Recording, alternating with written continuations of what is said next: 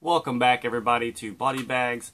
I'm Chris, and uh, I know it's been a while since I've uh, done a review here on Body Bags, but uh, due to working two different jobs, one full time, one part time, and being during the holiday season and stuff, I just really didn't have time to do any type of reviews or anything like that. Um, so I had to take a break for a little bit, but um, I'm back now, and I'm here with another review, and this week's theme is road horror. And so I am choosing The Hitcher 2 I've been waiting, and this is uh, from uh, I believe like early 2000s, like 2001, 2002, maybe even 2003. But um, this one uh, picks up um, years later after the very first movie.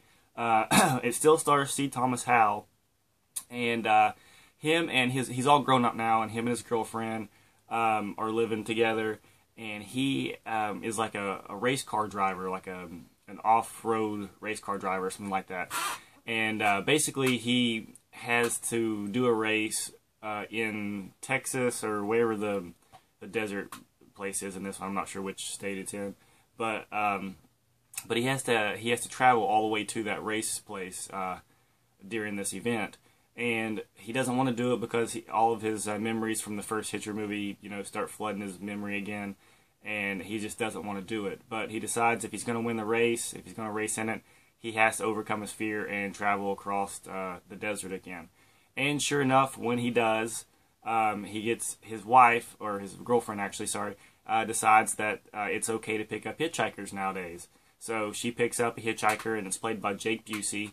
And um, I don't really know if he's supposed to be the, the same person from the first movie, just, you know, changed his looks or had like surgery or something. I don't know, but he kind of C. Thomas Howell's character kind of thinks he's the same person, and then Jake Busey's character makes some uh, comments and stuff stating that he might be the same person, and he kind of knows the history of C. Thomas Howell and says he's been waiting for him and all this stuff. So it's really weird because it's played by you know it's years and years later, and he's played by a different person, and like he's still in the pursuit of finding C. Thomas Howell. So it's really strange to know whether or not he is or isn't the same character from or the same hitchhiker from the first movie. Um, but uh, basically, it's the same thing again, where right as soon as he picks up the hitchhiker, um, he starts thinking, you know, all these bad things are going to happen, so he kicks Jake Busey out. And then his girlfriend gets mad at him because she thinks he's just being stupid for no reason. And then all of a sudden, Jake Busey, um, uh, you know, gets in another vehicle and crashes into their car. Then you know that everything's really happening again. And um, of course, every single time that somebody gets killed, it's made to look like um, C. Thomas Howell's character is the one responsible for it. Um, and they get locked up into a barn, and the police show up, and of course Jake Busey is there to kill off several of the policemen to make it look like those two people are, you know, the ones firing at the officers.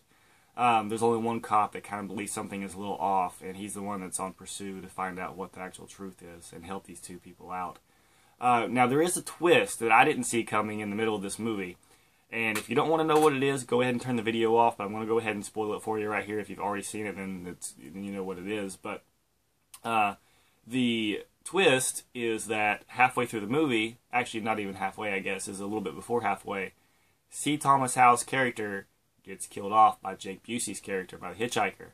And then the plot kind of turns into the first movie again, but instead of the um, instead of C. Thomas Howell's character, it is uh, Kari Wuhrer, um, C. Thomas Howell's girlfriend's um, thing. Like she's the one doing it now. Like everybody thinks she's the one responsible, and she has to go off by herself to stop the hitchhiker. Uh, that's where it kind of twisted. I thought that basically those two were going to run through the whole thing. I even kind of thought she was going to die, and they were going to put the blame on him again. Um, but then they kind of did the twist, and they, they killed him off instead, and that really surprised me.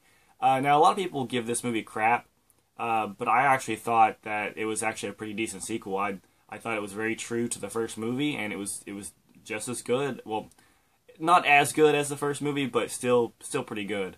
Um, I, I, highly underestimated this film whenever I when I started watching it. I thought it was going to be crap because of what everybody else said, but I highly recommend this movie.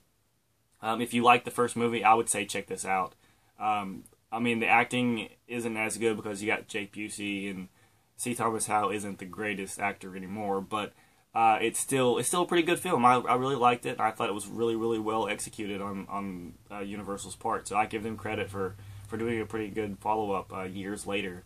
The first one was like '86, so this one was in the early 2000s, and I thought they did a really good job, and um, I give them full credit for it. So definitely check out uh, The Hitcher 2. I've been waiting, and um, keep checking back next week for another Bodies Bag review. I will be here. So see you guys.